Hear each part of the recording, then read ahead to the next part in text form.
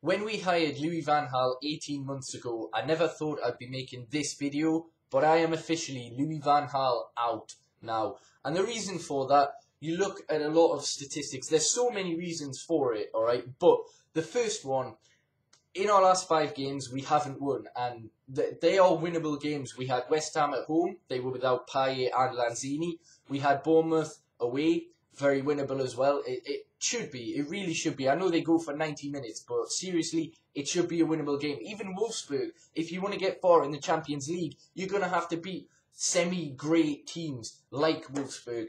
And we didn't.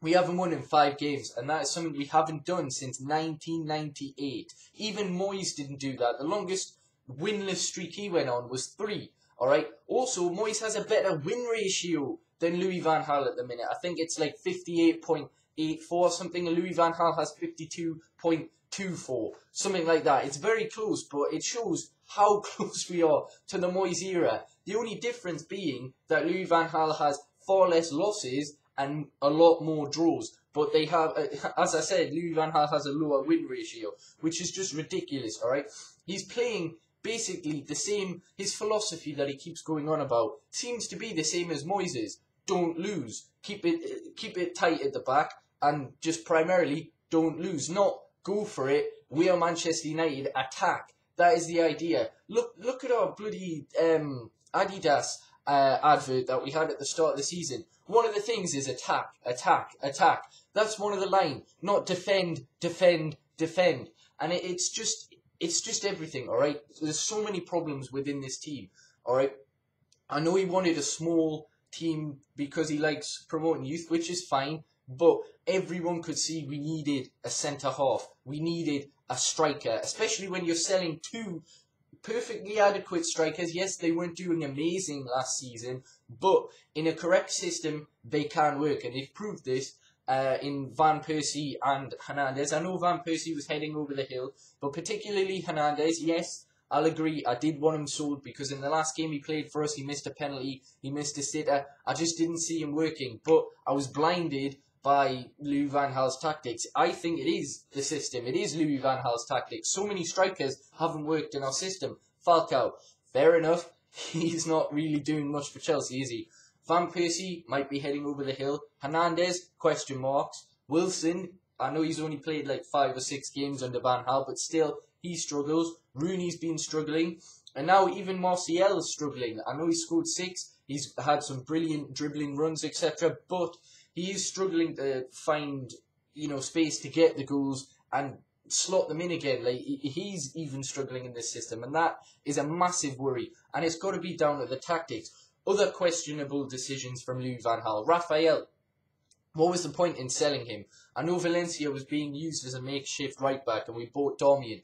But Rafael was basically the passion and desire of Manchester United. That's what he had. He knew what it meant to play for this club. He loved it and he had pure passion. Also, he would run forward, which is why Louis van Gaal didn't like him. He was an attacking right back, and that is exactly what we want. All right. Yes, maybe there was gaps in the defense um, defensive area, but maybe competing with Darmian and another right back would have made Rafael better and made him utilise his strengths a bit more instead of selling him for what, 8, 10 million, which was pointless because now we're without a first team right back when we had a perfectly adequate one that could have filled in now, but now we've got to de- delve into the youth, which is fair enough, it could be brilliant, but it, it's not at the minute and they're inexperienced and that is not what we need in the run up to Christmas.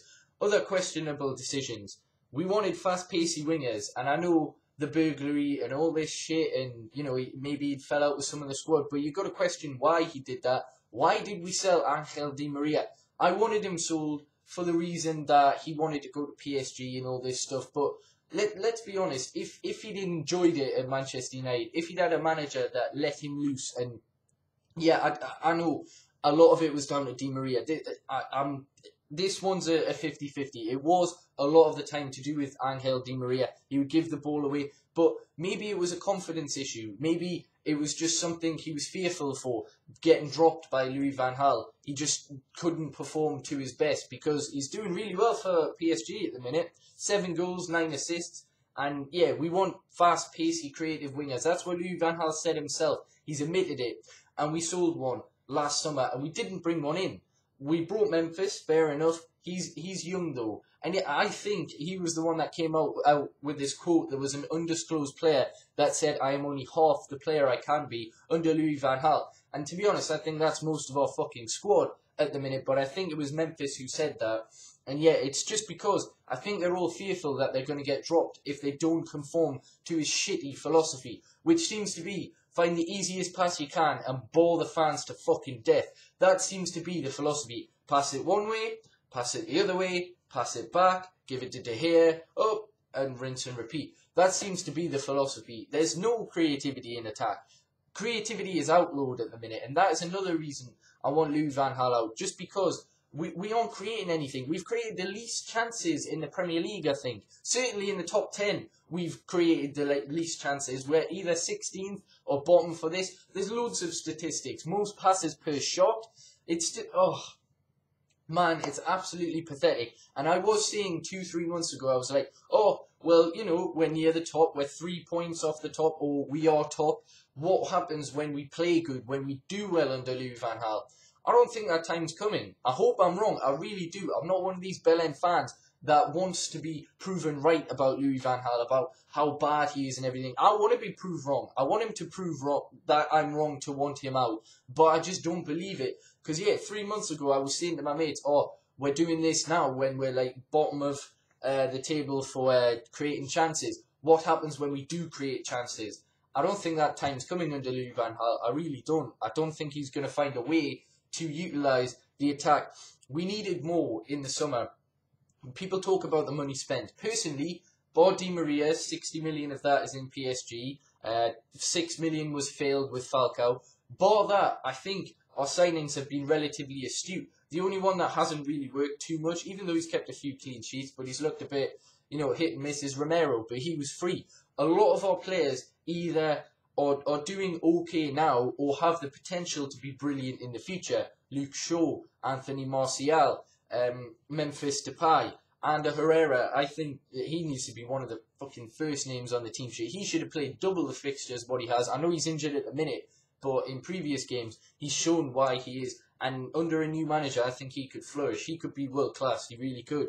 Marcos Rojo, an adequate backup at the minute. Maybe we do need someone a bit better, but he's he's decent. He's a brilliant squad player, certainly. Daley Blind seems to start nearly every other game. So all the signings we brought in have helped and are brilliant, but we haven't sold well. We've sold far too many players that have just been inadequately replaced because we want to promote youth, which is brilliant. But when you get an accumulation of 10 injuries and you've got to use six youth prospects in a game and sub on two, or what was it, four five youth prospects sub on two, it, regardless, there's too many at once and it's just not working. And yet, Louis Van Gaal and the hierarchy of United, I'm not letting other people off on this, like Ed Woodward, etc. There's a lot of people within the backroom staff that probably need to go as well. Jury's out on Ed Woodward. He can do good things commercially, but it seems to only be about commercial stuff, about bringing in revenue. Doesn't seem to care much about the fans as long as Manchester United are this global brand that he can sell. I think we've got 66 club sponsors and we've got 23 senior players it, ju- it just shows a lot about the club. It's all about finances at the minute, which would be brilliant if we were winning. I wouldn't give a fuck, alright? If they're filling their bank accounts and all this shit, as long as we're winning, which is what we have the finances to do and what the, the history of our club is about, winning, I wouldn't be bothered. And yeah, maybe we're a bit spoiled as Manchester United fans, but it it's it's just there, alright? The money's there, everything's there. It it has to be we have to be a success. Literally, we have to, or else we'll turn into Liverpool 25 years ago and they still haven't won the league. I don't think that's going to happen, but yeah, we're, we're getting off track here. This is about Louis Van Gaal. Anyway, who would I replace him with? Personally, I would sack him now and get Carlo Ancelotti. Carlo Ancelotti's done it at so many other clubs. He's been unfairly sacked at Real Madrid and Chelsea, in my opinion. And yeah, he's fantastic. The other option, which is a little bit more risky, I would prefer this one if it was 100% going to happen, but there's risk in this because of the Manchester City involvement with Pep Guardiola. I would love him as manager of Manchester United, but we would need 100% assurances that he would choose us at the end of the season where Van Gaal would be sacked or would leave of his own accord and retire, then yeah, that would be the option I would go with. Or I would sack Louis Van Gaal now, give it till Giggs till the end of the season, to quote Andy Tate, and then let Pep Guardiola come in. But again, that one's risky. So if I had to pick right now, I'd probably go for Carlo Ancelotti. That's who I'd bring in, and I'd get rid of Van Gaal ASAP because people say, oh, when when when a new manager comes in, it's going to create disharmony in the squad. Look at the squad; they they look just nowhere near as good as what they are. They just look disjointed. They don't look happy at all. It, it just really seems as though we've got really shitty squad morale. And yeah, it would be boosted with a big name manager like Carlo Ancelotti coming in, in my opinion. And also, that would lose the fear, and hopefully, they'd lose the reins that are keeping them back from being this creative outlet, which we can be. We've got so much quality in this team. Not enough, granted. We need a bit more depth, but that's something for the transfer windows. At the minute, we've got quality players that are playing just boring football, and I think that's because of this man's philosophy. Am I right? Am I wrong? Let me know in the comments if you're Louis Van Gaal in, Louis Van Gaal out. As I say, I would love to be wrong. I really, really would. If we're going to stick with Louis Van Gaal this season, then I would love him to win fucking Europa League, FA Cup, and Premier League. But do I think it's going to happen? Personally, no. But I would love to be proved wrong. But for the time being, I'm going to stick by my guns and I'm going to say Louis Van Gaal out.